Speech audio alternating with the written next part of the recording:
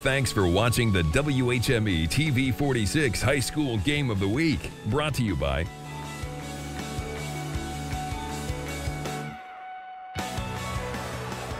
Well, if you got a game like this, you come to your feet at the Fleet Gymnasium. 69-58, Culver Academy wins over the Fighting Irish of Cathedral. Both teams now 12 and 4. Chuck and Bob courtside, and that thing had everything. It, it did, and, great finishes. We saw that in the JV game, and then the finish that Cathedral had in regulation was unbelievable. Made some huge shots, and then Culver in the overtime really took it over. And I'm not sure if one team was fresher than the other. I just think that Culver had three guys they could count on, and they all did a great job. Craig and Hiddle and Galloway in the overtime. So there was no doubt, though, who the player of the game was. And it's one of the reasons he's going to Indiana University, his ability to take over games like this. Trey Galloway standing by with Bo Hunt, our IU South Bend, fulfilling the promise, player of the game. Standing by with Trey Galloway. First off, 27 points tonight. Congratulations on this huge victory. Yeah, thank you. Appreciate it. Cathedral come in here ranked fifth in the state. Just talk about what you guys had to overcome in this game and their physicality. Yeah, I mean, we knew it was going to be physical all night, um, and so we just tried to match their intensity. Um, obviously, they're a really good team, and it was just really good to come in and compete with them. So it's got the win.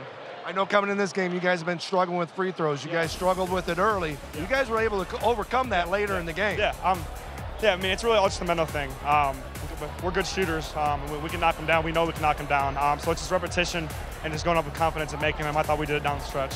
You guys, it seems like you guys are really starting to get in the groove. The competition that you guys play throughout the year really has an effect with that, doesn't yeah. it? Yeah, no, I mean, it's great. I mean, we, that's what we do. We uh, we try to play the best to prepare us for the postseason. So um, win or lose, it's going to get us better. Um, and we'd rather, we'd rather have a win, but um, no matter what, I think, I think we got better. Trey, it's always a pleasure talking yeah, to you. you too. Thank you. Appreciate Back to you guys. And there was one play in this game that stood out as our electrical workers, local 143, local 153, electrifying play of the game. And it was a pretty easy selection. It's the one that basically quieted us and electrified the crowd. It did. And uh, Trey taking it down, uh, finishing and getting the slam, and his teammates just pumped up. Watch it again as he takes it strong to the hoop, finishes strong over the defense, and uh, just a great great way to punctuate an outstanding performance individually and a great performance by the team. They just knocked off the number five team in the state of Indiana. We got a chance to, to watch it and to carry the game, and uh, what a thrill. And, you know, Trey Galloway is going to go on to IU, and of course, we're the home for IU basketball on our radio broadcast yes. with Don Fisher. So uh, Don will learn how to pronounce Galloway. I, I don't he'll, think he'll have a problem with no, that. He'll, he'll be fine with it. So Traders Point Christian next for Culver Academy. That's on next Saturday. But you know what? They play that Attucks team that won the city championship in two weeks. The tests continue to come for both of these squads. Center Grove coming up for Cathedral, and then they've got a couple of Gary teams with Gary West and Gary 21st Century, both very solid teams. So both these teams are going to be well prepared for the tournament. Well, and when you think about them coming back for the tournament with more local teams, but they've reached out and they've made themselves a better team by playing better competition.